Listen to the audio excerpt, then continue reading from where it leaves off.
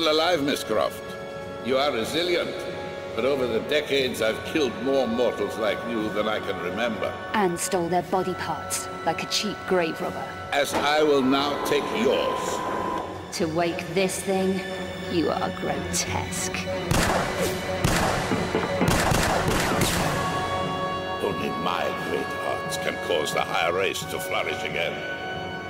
So I guess it's up to me to stop you then. I hunted down and killed the last of the Lux Veritatis. I am immortal. The shards. Scary, huh? For you. It is my destiny to breathe hell on Earth. You are nothing to me. Do you know, it's gonna be a real pleasure to shut you up.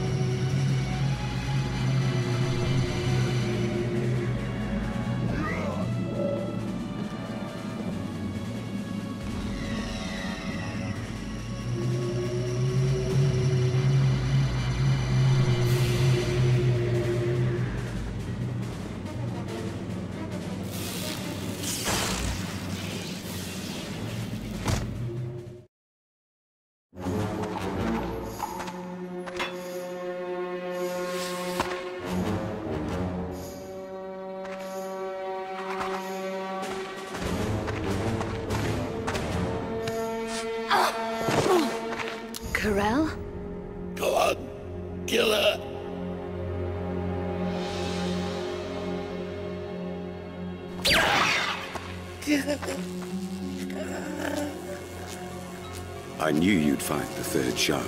But why? You worked for him. No, unknowingly he worked for me. But his usefulness was ended. Will you destroy his work? Of course not. The great work will be finished. I'm offering you the chance to become part of a benign new order in the world. You are kidding, right? We Nephilim have only ever been trying to survive.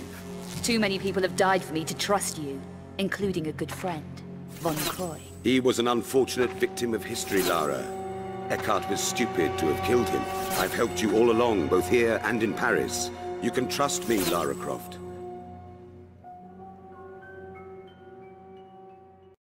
I'm tracking five Obscura paintings for a client called Eckhardt, but he's a psychopath. Why should I care? Because I'm being stalked. People are dying out there. Handle it, Werner. Lara, please. Look, go and see this woman, Kavi. She can help. I'm going. Egypt, Werner. You walked away and left me. There was no pity then. Get out! Get out of the way! No!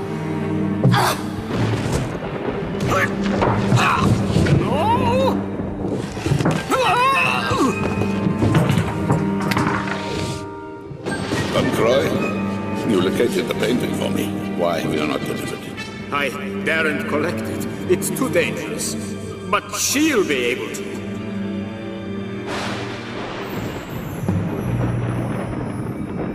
No! Your usefulness is finished.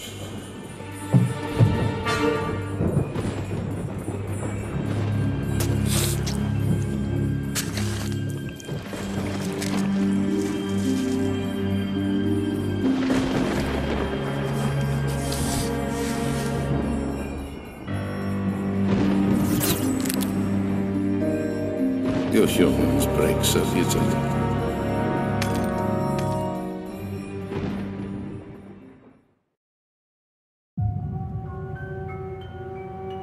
You killed Von Croy. Stupid mortal.